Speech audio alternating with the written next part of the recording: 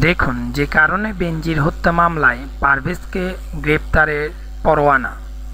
পাকিস্তানের সাবেক প্রধানমন্ত্রী বেনজির ভুট্টো হত্যা মামলায় দেশটির সাবেক প্রেসিডেন্ট পারভেজ মোশারফকে পলাতক দেখিয়ে তাকে গ্রেপ্তারে স্থায়ী পরোয়ানা জারি করা হয়েছে। এছাড়াও দুই সিনিয়র পুলিশ কর্মকর্তাকে সতেরো বছরের কারাদণ্ড দিয়েছে দেশটির আদালত।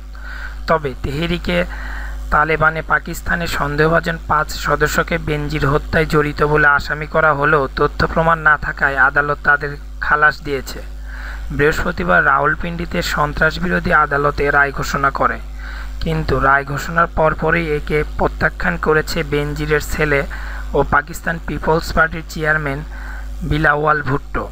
খবর ডন অনলাইনের দুই সালে ডিসেম্বরে বেনজির ভুট্টো নিহত হওয়ার সময় রাওয়ালপিন্ডিতে উল্লেখিত দায়িত্বে ছিলেন রাওয়ালপিন্ডির সাবেক পুলিশ প্রধান সাউদ আজিজ এবং রাওয়াল শহরের পুলিশ সুপার খুররম শাহজাদকে। রায় এই দুই পুলিশ কর্মকর্তাকে দায়িত্বে অবহেলার দায়ে আদালত তাদের পাকিস্তানের দ্বন্দ্ববিধির একশো দশ ধারায় দশ বছর করে এবং দুইশো এক ধারায় সাত বছর করে কারাদণ্ড দিয়েছে। এছাড়া তাদের পাঁচ লাখ টাকা জরিমানা অনাদায়ে আরও ছয় মাসের কারাদণ্ড দেওয়া হয়েছে। আদালত সাবেক প্রেসিডেন্ট পারভেজ মোশারফ সহ পাঁচজনকে বিচার প্রক্রিয়া থেকে পলাতক আসামি ঘোষণা করেছে।